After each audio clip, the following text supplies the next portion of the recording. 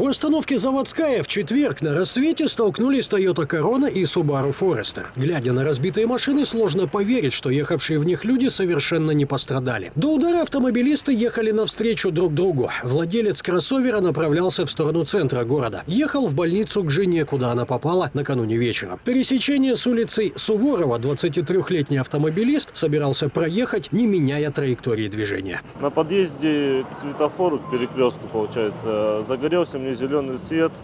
Я продолжил движение. Он зацепил меня, получается, мою правую сторону автомобиля.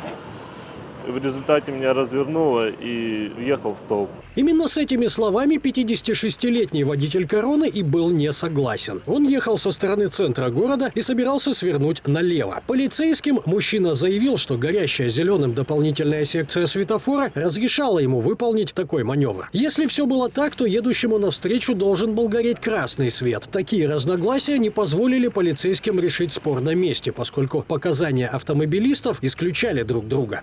Разбираться в спорной ситуации водители будут в полицейском отделе дознания. Если у вас есть видеозапись этой аварии, обнародуйте ее. Это поможет установлению истины. С места происшествия Валентин Борозняк, Татьяна Шамурова и Александр Савчук.